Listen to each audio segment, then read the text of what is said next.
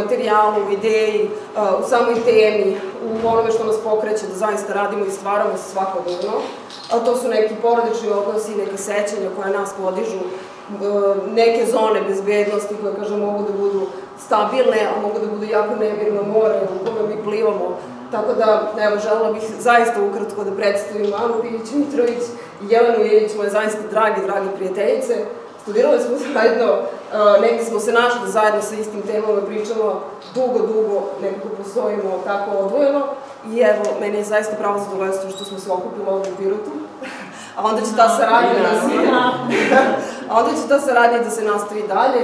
Sledeću izložbu imamo već u Užicu, uskoro, da, posle ove, a onda ćemo vidjeti kako ćemo dalje. Tako da, eto, zahvalit ću se svima vama što ste došli na otvaranje.